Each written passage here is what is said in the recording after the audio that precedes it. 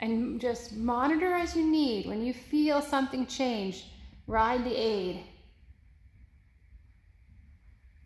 Yeah, good for you. That's right. Now a little halt. Yes, yes, yes. Super good riding, good riding there. That's it. That's it. Okay, and transition back to trot.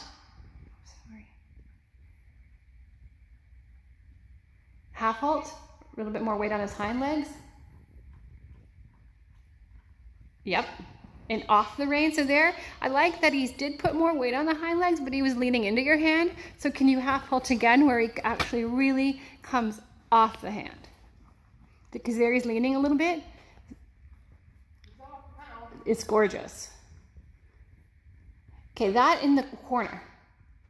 That in the corner. Feel the left leg, that there's no leaning against the left leg and off the hand. It's gorgeous.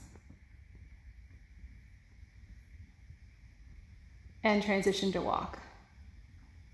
Good. Good job.